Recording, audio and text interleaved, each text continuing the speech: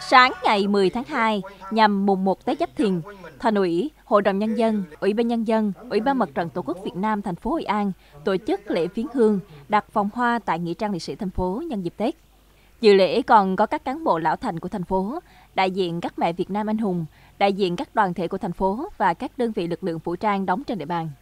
Trong không khí trang nghiêm, thành kính của buổi lễ, các đại biểu đã dành một phút mặc niệm, dân hoa dân hương lên tượng đài và các phần mộ liệt sĩ, bày tỏ lòng biết ơn vô hạn trước sự hy sinh của các anh hùng liệt sĩ vì sự nghiệp cách mạng giải phóng dân tộc, thống nhất đất nước. Lễ viếng nghĩa trang liệt sĩ vào dịp Tết đến xuân về là hoạt động thường niên của thành phố. Đây là dịp để tưởng nhớ, tri ân sâu sắc và đời đời ghi nhớ công lao to lớn của các anh hùng liệt sĩ.